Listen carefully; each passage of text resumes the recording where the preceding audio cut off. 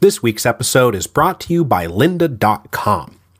Lynda.com is the online learning platform with over 3,000 on demand video courses to help you strengthen your business, technology, and creative skills. For a free 10 day trial, visit lynda.com slash revolutions. That's L Y N D A dot com slash revolutions. Lynda.com is for problem solvers, for the curious, for people who want to make things happen. Maybe you want to master Excel, learn new negotiation tactics, build a website, or boost your Photoshop skills. Go to lynda.com and feed your curious mind.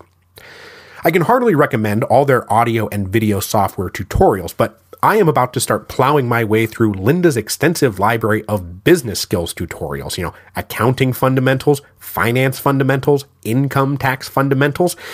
It's about time I started taking this stuff seriously.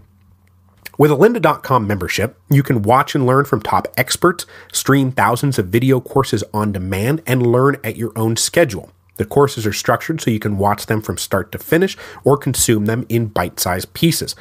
You can browse each course's transcript to follow along, or search for an answer and skip to that point in the video. Take notes as you go and refer to them later. You can download tutorials and watch them on the go, including access on your iOS or Android device. You can create and save playlists of courses you want to watch to customize your learning path or share it with friends and colleagues or other team members. Your lynda.com membership will give you unlimited access to training on hundreds of topics, all for one flat rate. Whether you're looking to become an industry expert, you're passionate about a hobby, or you just want to learn something new, I want you to visit lynda.com slash revolutions to sign up for your free 10-day trial. That is L-Y-N-D-A dot com slash R-E-V-O-L-U-T-I-O-N-S.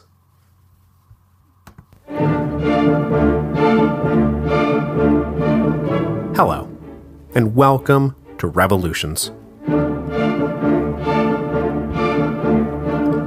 Episode 3.38 Thermidor.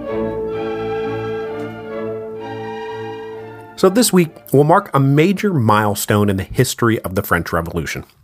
It is, in fact, such a major milestone that you could make a strong argument that the Thermidorian reaction marks the end of the French Revolution.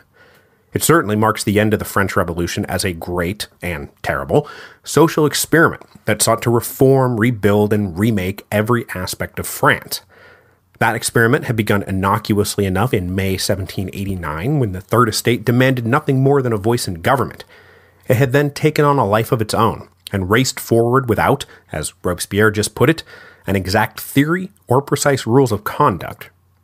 That careening experiment culminated in the early summer of 1794 with Robespierre trying to kill his way to the Republic of Virtue.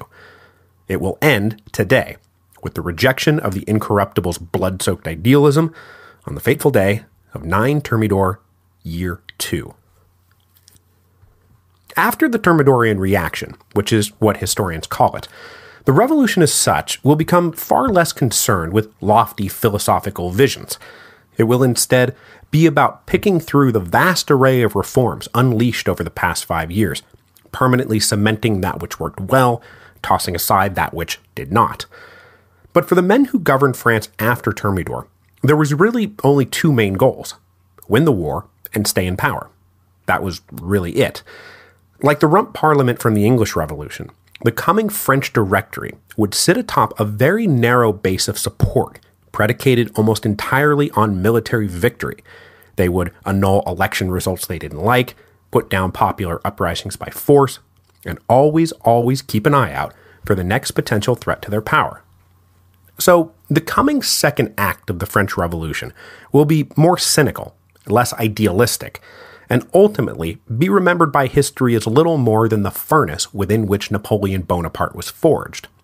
But like so many other glossed over periods of history that seem to serve as mere preludes to the next big thing, the second half of the 1790s is rich in drama. The next five years will see multiple uprisings from counter revolutionary royalists, far left proto communists, and terminally embittered former Jacobins trying to reclaim control of the revolution that had slipped from their grasp. So, the French Revolution is far from over. I mean, we haven't even gotten to Gracchus Babeuf and the conspiracy of equals yet. And how can you tell the whole story of the French Revolution without Gracchus Babeuf? But before we move on to Act 2, we need to bring the curtain down on Act 1, and we left off last time with the stage set for today's dramatic climax. Robespierre's ego and paranoia were expanding so rapidly that a group of men who otherwise had very little in common were being united by the shared threat posed by the incorruptible. The first sign that there might actually be a real backlash against Robespierre came just after the passage of the Law of 22 Prairial. Members of both the Committee of Public Safety and the Committee of General Security were not at all happy about the way the law had been introduced. Crafted by Robespierre and Georges Couthon, no one else had been allowed to see it before it was introduced to the convention. Annoyed and not a little unnerved about being cut out of the loop on such an important piece of legislation, the Committee of General Security pointedly refused to act when Robespierre then gave them a list of nine men he believed were engaged in a counter revolutionary conspiracy. And perhaps more importantly, this refusal to act was supported by some of Robespierre's colleagues on the Committee of Public Safety. So, just two months after the committees had closed ranks in mutual solidarity to put down the ultras and the indulgents, the rift between Robespierre and everyone else was threatening to break them all apart again. For the rest of June 1794, Robespierre's enemies laid the groundwork for a move against him. Now, as I said last time, I don't know whether there really was a conspiracy between all these guys before Robespierre started to suspect that there was, but there certainly was after Robespierre started to suspect that there was. As a prelude for our far more cynical post Thermidorian revolution, the link between the conspirators had nothing to do with ideology or class or belief system. It had to do with the fact that they were all personally afraid of what Robespierre might do to them if he was left to his own devices. So the coup of 9 Thermidor was not about like overthrowing the tyranny of the Committee of Public Safety and ushering back in the idealistic and democratic Constitution of 1793. It was about a bunch of guys trying to stay alive for one more day. The most prominent of the conspirators were drawn from the ranks of those recalled representatives on mission. Specifically, Joseph Fouché, the arch dechristianizer and accomplice of Collot d'Herbois in Lyon, then also a 24 year old named Jean Lambert Tallien, who had been the representative sent to deal with Bordeaux during the Federalist Revolt. Tallien was suspicious not because his brand of terror had been too harsh, but because it had been too lenient. He had started out ruthlessly executing Girondin allies in Bordeaux, but then he fell in love with the former wife of an emigre nobleman, and she used her influence to get Tallien to practically stop using the guillotine altogether. Another of the conspirators who deserves special mention at this point is Paul Barras, who had been the representative down in Marseille and is about to go on to be the main executive force in the French Directory. So we'll be talking a lot about Barras in the episodes to come. Joining the ex representatives in the scheming were three other groups aligning against Robespierre. First were the men who had once been associated with the purged ultras. Specifically, that meant the Committee of General Security practically as a whole institution, and then the two sans-culotte members of the Committee of Public Safety, Collot d'Herbois and Billaud Varennes. Second, there was anyone who had ever been on friendly terms with Danton, none of whose names you need to know right now, so let's not worry about them.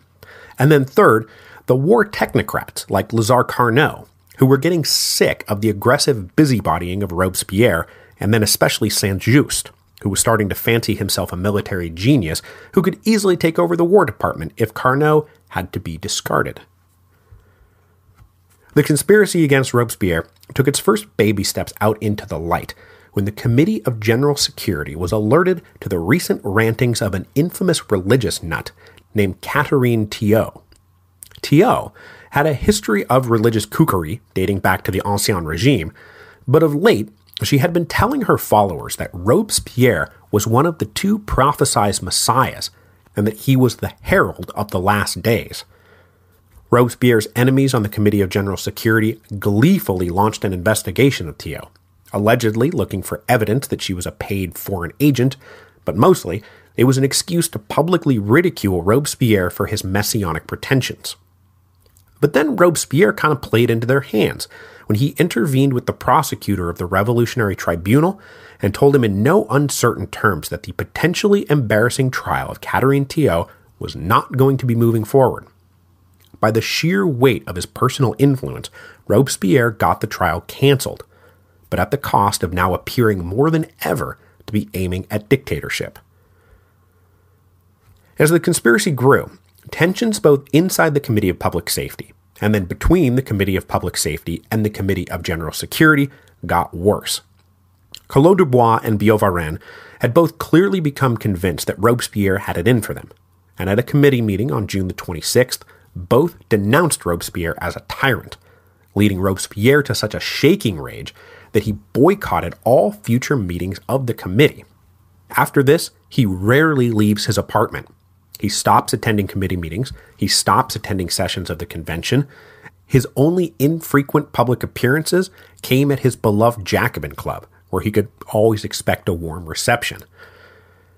Now, often, this withdrawal is portrayed as Robespierre succumbing to hubris and pique, but I've also seen it suggested that he actually suffered a nervous breakdown at this point.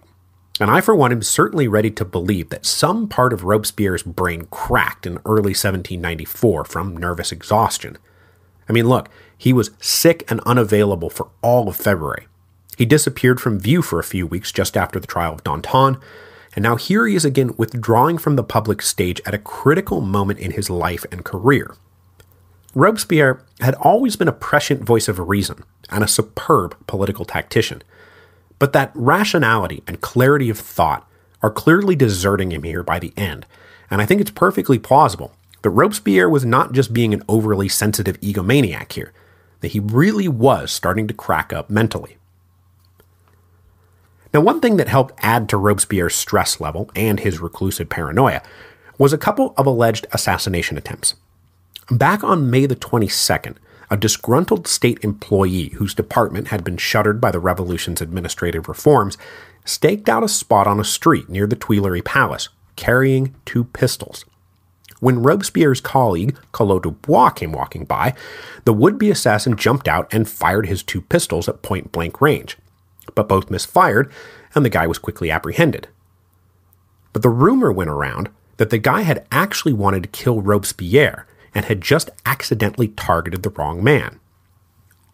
Then, the very next day, a 16 year old girl named Cecile Renault came banging on Robespierre's door and made such a fuss about getting in that she was detained and searched. I mean, memories of Charlotte Corday were still fresh in everyone's mind, and out came two small daggers. When questioned, the girl was apparently a bit incoherent and babbled a bunch of nonsense, saying at one point that she only wanted to see what a tyrant looked like. And it's entirely possible that the girl was mentally disturbed.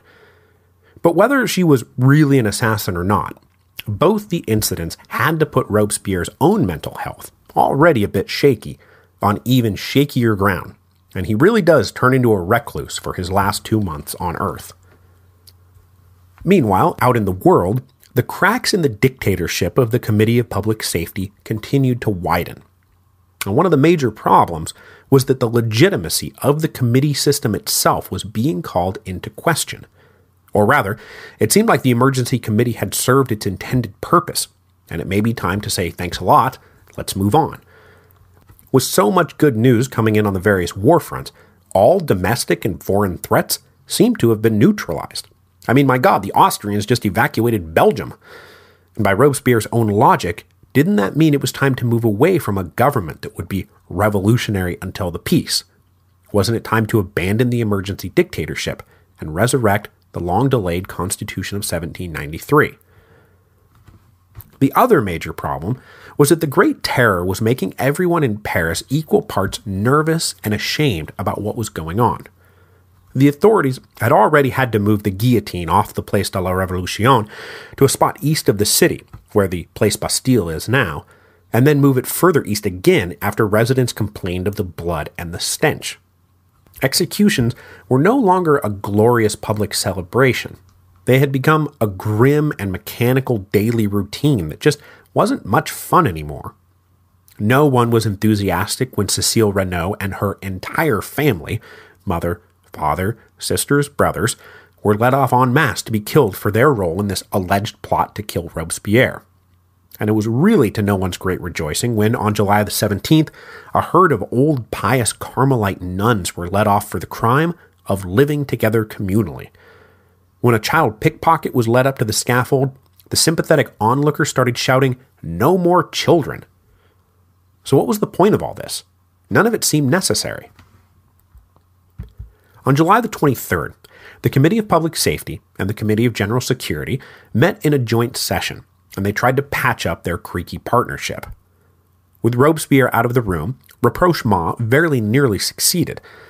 The Incorruptible's two closest allies, Saint Just and Couthon, both seemed amenable to some kind of deal being worked out to keep everyone working in harmony. But the next day, Robespierre decided to come out of hiding and make it plain that there would be no papering over their differences.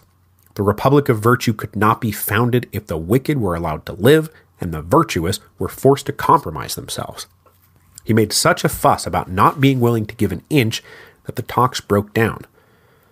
But though things were looking like the committees were about to break apart, Saint Just set to work on a speech he planned to deliver to the convention in a few days, saying, Don't believe the rumors. We're all cool.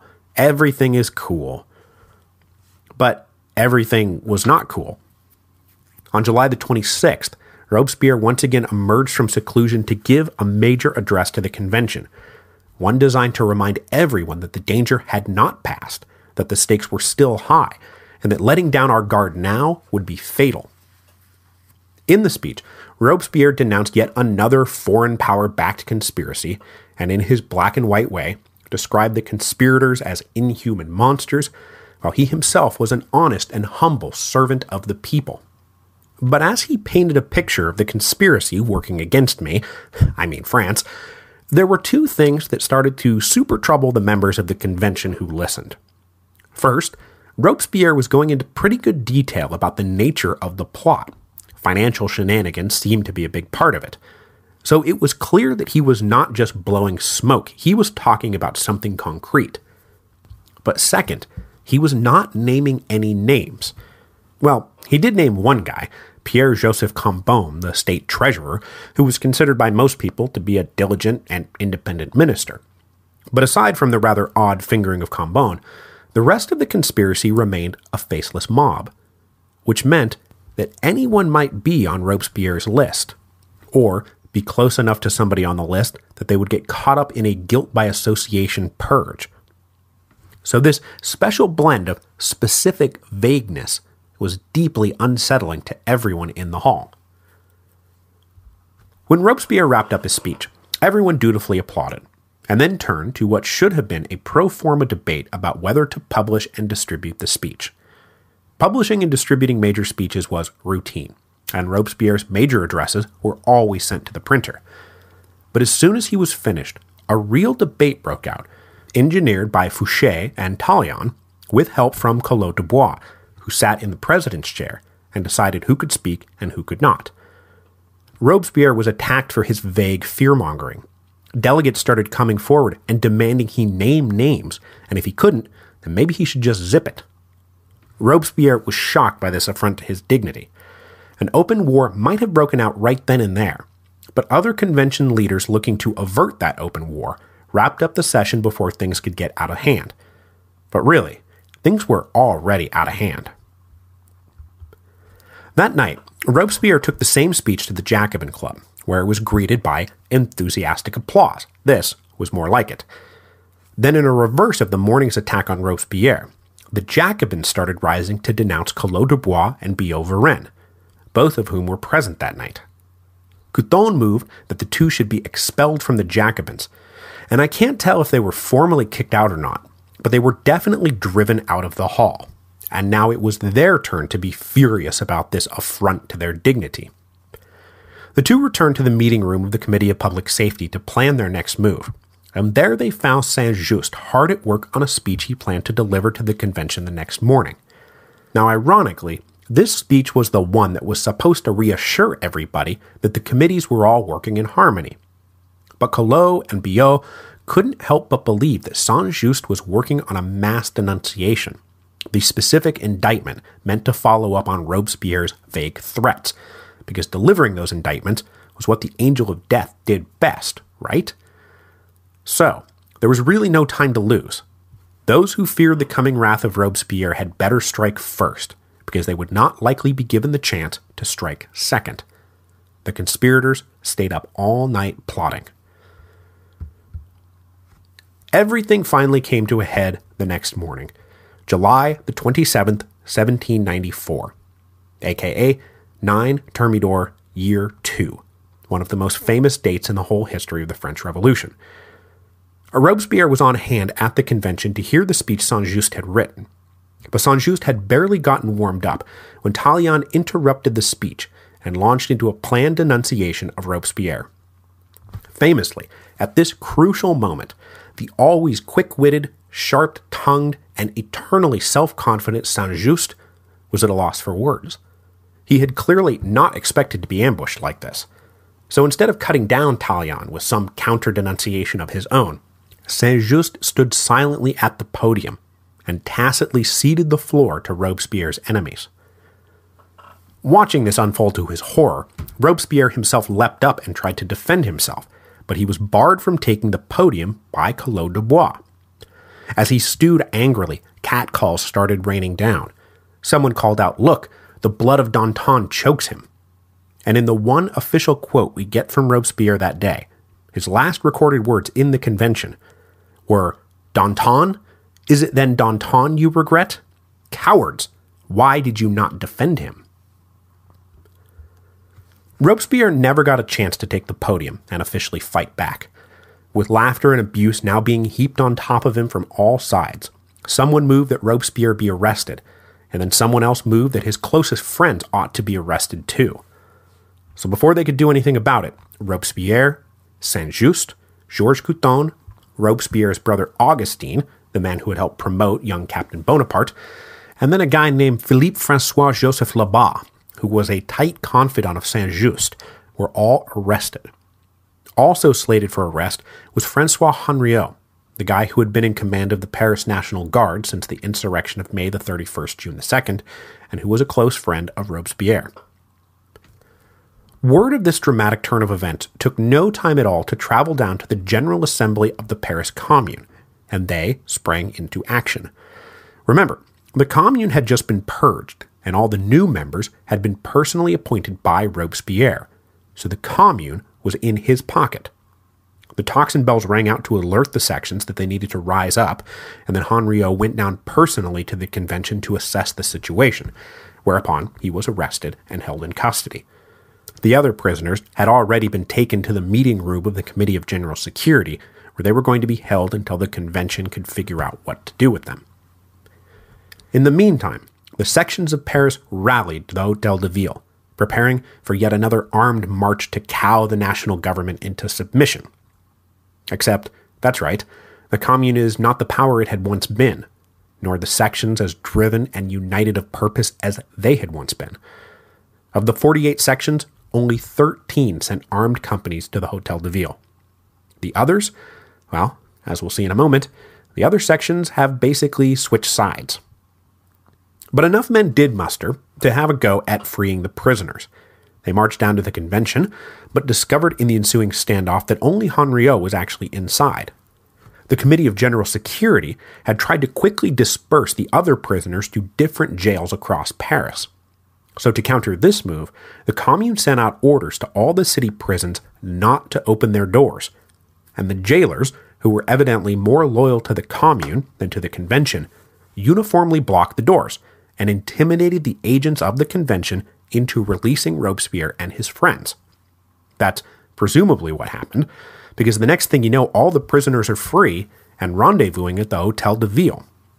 In response to this news, the convention passed a decree declaring the prisoners outlaws, a formal designation that meant legally all you had to do was positively identify somebody and they could be executed without trial. Now, at this moment, things really could have gone either way. And back at the convention, the armed mob outside had proven itself intimidating enough to secure the immediate release of Henriot. But this was the high point of the day for them. Henriot could plainly see that he did not have a strong enough force to maintain the siege of the convention. Especially because he had heard that the convention was in the process of raising a street army of its own, this one drawn from the central and western sections of Paris, the ones who had not heeded the commune's tocsin bells. So Henriot decided to lead his little army back to the Hotel de Ville to prepare for a showdown on their own home turf. The convention appointed Paul Barras to lead the men flocking to the convention's banner, but it took him the whole rest of the day to gather up and organize the volunteers. Meanwhile, as the convention's forces grew, the commune's forces were melting away. The turnout that morning had been lackluster from the get go, and those few men who had shown up and marched on the convention could tell that this was not going to end well for them if they stuck around. So as night descended, they prudently slipped back home one by one. Every time Henriot looked up, he had fewer men at his disposal. Finally, at 2 a.m. on July the 28th, Barras marched his men on the Hotel de Ville. And when they got there, the place was all but undefended, and the capture of everyone inside a foregone conclusion. Now, the scene inside and outside the Hotel de Ville that night is the stuff of tragic, depressing nightmares. It's really like something out of a horror movie. Augustin Robespierre tried to escape out a window, but as he was shimmying along a ledge, he lost his footing. The onlookers outside saw him fall three stories to the ground, shattering both his legs. As he lay in agony, the convention forces pushed their way inside, and the first thing they found was George Couthon, broken and bloody at the bottom of a staircase. He had somehow gotten tipped out of his wheelchair, and he lay in a busted heap on the floor, alive, but similarly in agony. Meanwhile, upstairs, Lebas had managed to smuggle in two pistols. He gave one to Robespierre, and then used the other to shoot himself in the head. Robespierre then almost certainly took the other pistol and tried to commit suicide himself, but with no experience handling a gun and his nerves no doubt shot, Robespierre botched the attempt. All he managed to do was blow off half his jaw. When the convention forces burst in, they found him too on the ground, writhing in agony. And then hours later, somebody finally found Henriot. Like Augustine Robespierre, Henriot had tried to escape out a window, but also like Augustine, he had fallen three stories into an open sewer, and he lay there for three hours before somebody finally discovered him. He begged to be simply finished off, but instead his broken and filthy body was taken into custody. Only Saint Just managed to survive this with even a shred of dignity. He had been in the room with Robespierre and Lebas, but he simply stood there stoically as he awaited his arrest and certain death. The bloody and half conscious Robespierre was taken to the meeting room of the Committee of Public Safety, and he was laid out on a table. The consensus seemed to have been that he was not going to survive the night, so they just left him there to suffer. It was not until dawn, when they realized he was probably not going to die, that a doctor came in and had the decency to at least tie up the hanging jog with a handkerchief. Now, because they were all outlaws, there would be no trial for the condemned. But rather than killing them as quickly as possible, the carts did not come round to collect them until late in the day. In the meantime, the agents of the convention had been busy rounding up the other hardcore Robespierrists. And when the tumbrils finally did come round, it was 22 total men who were loaded up and taken away. But to their own probable surprise, the prisoners were carted off to the Place de la Révolution, because for this particular execution, the committees had decided to move the guillotine back to its original spot. At around 7 that night, the execution process started up, and it had to have been a pathetic spectacle.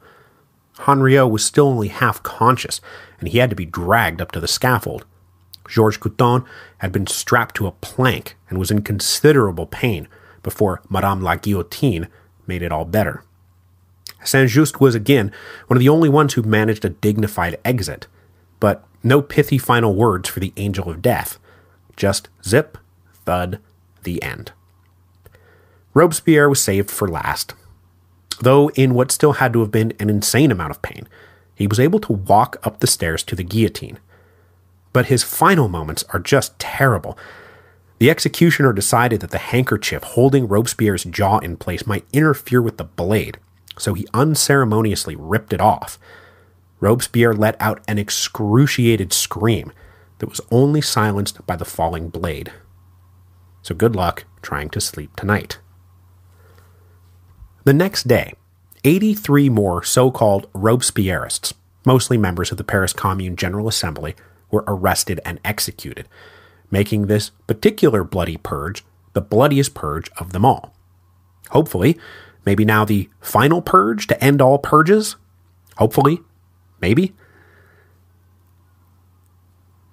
In retrospect, 9 Thermidor Year 2 was a watershed. The fall of Robespierre led to a significant redirecting of the course of the revolution.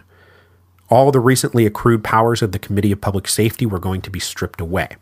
All the ideological excesses of the past year would be drawn back from.